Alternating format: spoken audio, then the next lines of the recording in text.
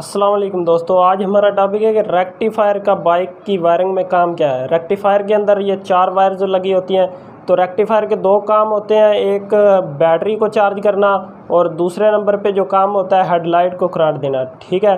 तो इसकी जो चार ये वायर्स होती है, सबसे पहले ये जो है, ये बैटरी को लग जाती है उसके बाद जी, ये जो है, ये वायर इसकी जो है, ये बैटरी के लिए करंट लेके आती है, जो कि बैटरी को चार्ज होना होता है। ये कोयल कड़े से कनेक्ट होती है और ये बैटरी के साथ कनेक्ट होती है।